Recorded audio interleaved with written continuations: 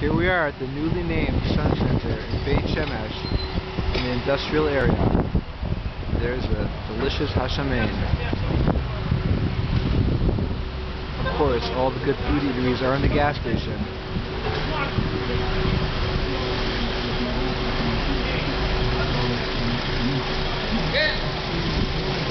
Great ice cream at.